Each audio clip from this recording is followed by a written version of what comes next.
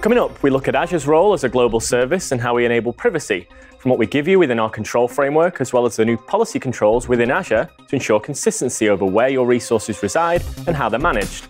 And if you're starting your GDPR implementation, we'll feature new options to help with compliance, such as the Compliance Manager and Service Trust Portal to respond to data subject requests in Azure.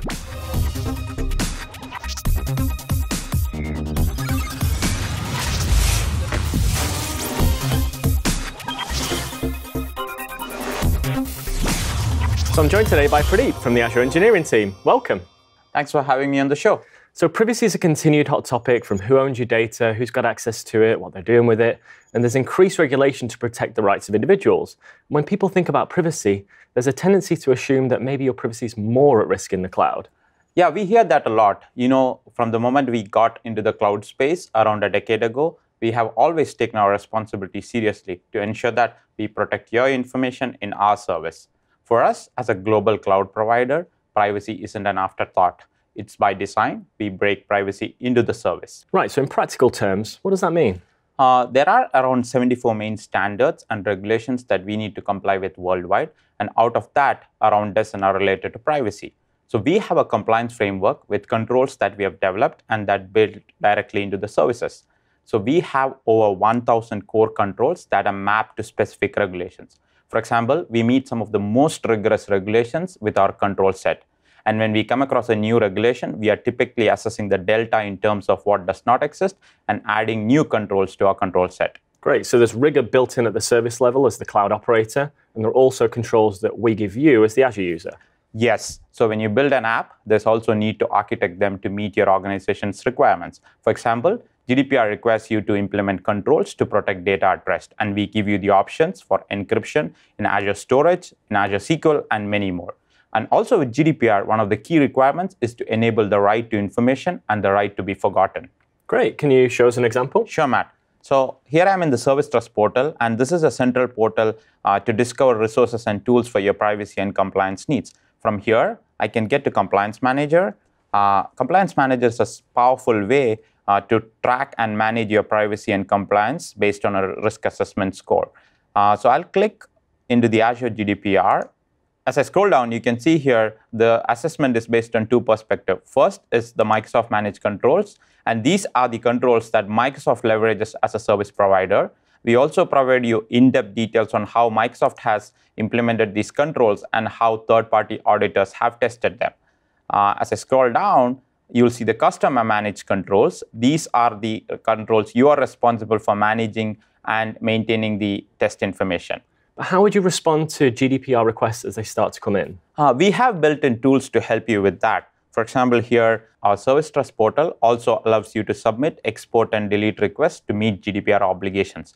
You can click Privacy tab here, select Data Subject Request, scroll down, and here you will see links for data log export and for get user data.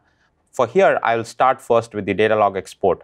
This will take you to the Azure portal where you can create a request to export a user's telemetry log data. For example, here I'm going to add an export request uh, for the user Alex. So I select the username, I select my subscription, and I select the storage account I want uh, this to be. And then I click create. Uh, the export request is being created.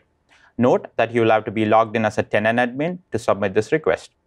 Okay, so this is going to store all the logs on this particular user into the storage account that you just selected, but how long is this going to take to complete? It depends. This can take a few days to run depending upon the amount of data and the service the user has used. So in this case, I've run one of these in advance and you can see the output of my request here.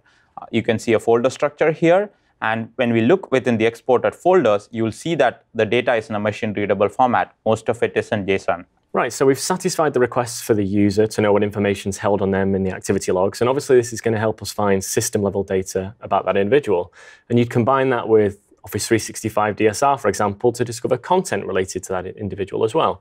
And we've covered that on uh, mechanics previously, but what about if the user wants the account to be removed from the system completely? You can then submit a delete user request. Let me show you how that works. So you go back to the user privacy experience page in the Azure portal, click go to Azure AD to delete. Then I type in the username I want to select to delete. I select the user and then submit delete user. Now, this puts the user in the queue for delete, uh, so allows you a grace period in case you want to recover back. To permanently delete, go to the deleted users and then select the user you want to delete. So this also deletes the user's affinity with the activity logs I just showed.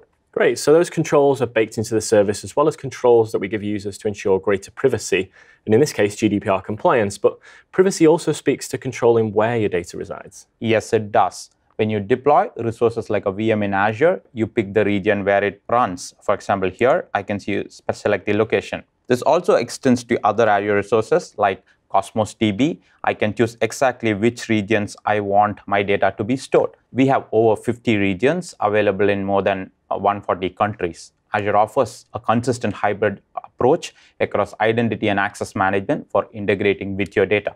We also help you to protect and access data wherever it resides. For example, the Azure Information Protection Scanner can scan your on-prem file share or your SharePoint servers to discover sensitive data types, classify, and label them for increased data governance. At the other end of the spectrum, we also have Azure Stack, which allows you to use Azure services but keep everything in your own data center. Awesome. It's great to see these options for sovereignty and privacy, but what do we do to help enforce privacy requirements if, for example, you've got new developers or offshore developer teams? So we just launched the general availability of the free Azure policy service, which is a central way to apply controls across your Azure resources. This gives your developers the necessary guardrails to provision and manage your resources without impacting their productivity. Great. So from here, you can define your organization standards centrally and enforce them through policies. That's right. You can search for the Azure Policy Service in the Azure portal. We give you a number of built-in policies that can help you get started quickly and you can then assign them to a scope, which is a management group or a subscription where that policy applies. Or you can build your own custom policies using here under the policy definitions. A few examples as I scroll down the list include setting policies to block uh, certain resources from being deployed or which locations uh, certain resources can be deployed. Uh, now, let's take a look at the allowed locations policy. This en enables you to enforce the allowed locations that the resources can be provisioned. So a great way to enforce your geo compliance requirements.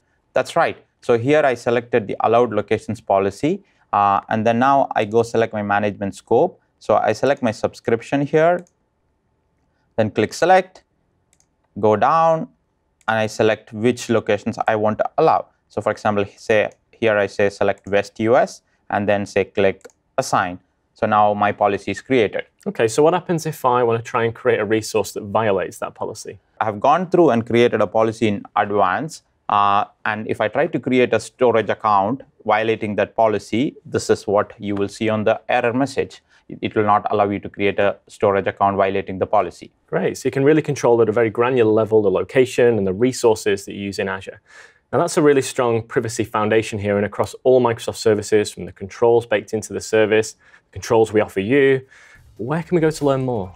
So the Service Trust Portal is a great place to start. It's a hub for resources and tools, and you can learn more about the Azure policy at the link shown.